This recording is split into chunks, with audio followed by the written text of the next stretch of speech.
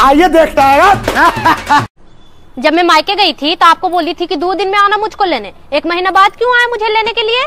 अरे यार तुम समझती नहीं हो। क्या? जब तुम हमसे दूर जाती हो ना तो हम तुमको मिस करते हैं। अच्छा? हाँ अब दो दिन में तुमको लेने के लिए आ जाता तो मैं थोड़ा मिस करता। और मेरा दिल कर रहा था तुमको बहुत मिस करूँ। इसीलिए मैं तुमको एक महीने बाद लेने आया था। तब तो ठीक है। बहुत अच्छा किया।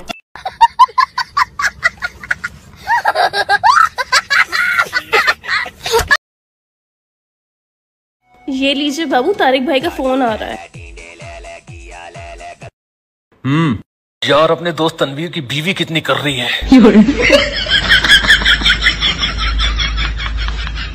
What do you mean by कर रही? ये औरतों के लिए कैसे घिनौने वर्ड्स यूज़ कर रहे हो तुम? कर रही आइटम पटाखा। बाकी के दो वर्ड्स तो मैंने यूज़ भी नहीं किए। हाँ तो यूज़ तो करने वाले थे ना?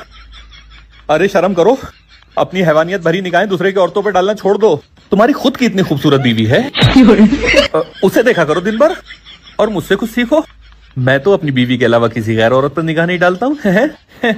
ये गंदे काम छोड़ दो बहुत बड़ा गुनाह है इनका।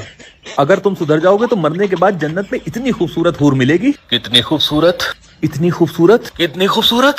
इतनी कितनी इतनी कितनी इतनी जितनी अपने दोस्त फव्वाद की दुल्हन है।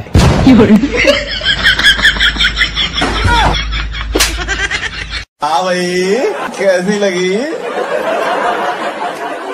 आगे स्वाद। अरे मैंने सुना है आपके हस्बैंड मर गए। हाँ मर तो गए। तो क्या मैं उनकी जगह ले सकता हूँ?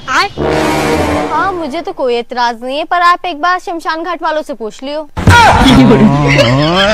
पागल वाली जगह ना मतलब हस्बैंड बन सकता हूँ।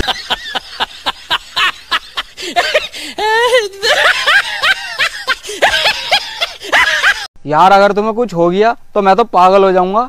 अच्छा पर दूसरी शादी तो नहीं करोगे? अब पागल का क्या भरोसा? कुछ भी कर सकता है।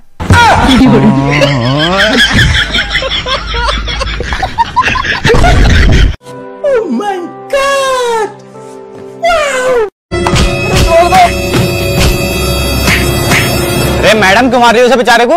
अरे भाई साहब ये कोई बेचारा बेचारा नहीं है। मैंने इन्हें कॉल की तो वहाँ से एक औरत बोली जिस व्यक्ति को आप कॉल कर रहे हैं वो अभी व्यस्त है। ये बताओ कौन थी वो लड़की? अरे कस्टमर केयर वाली थी यार। तो मैं बताऊँगी।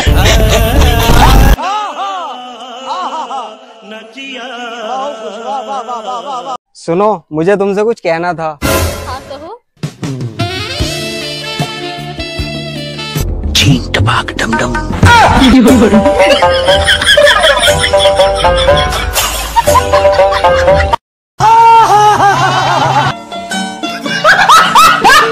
सुहेल आई लव यू क्या तुम मुझसे शादी करोगे?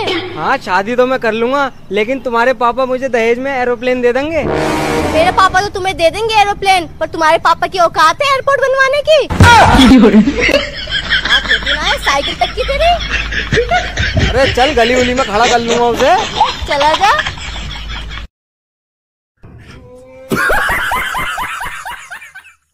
सवा सारी रात तुम ऑनलाइन थी। मैंने तुम्हें मैसेज करा तुमने मेरे ही मैसेज का रिप्लाई नहीं करा। किससे बातें कर रही थी? यू ट्रस्ट मी बेबी मैं तुम्हारे अलावा किसी लड़के से बात नहीं करती।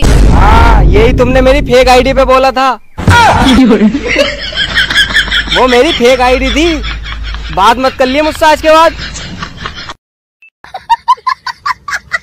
अगर तुम लोग नए हो तो सब्सक्राइब करो। वो जो लाल वाला बटन है, उसके साथ स्कैम करो या फिर महफिल जमाओ। मुझे नहीं पता, बस क्लिक हो जाना चाहिए। अब मैं भी जा रहा हूँ, मुझे पार्क में स्टंट्स मारने जाना है।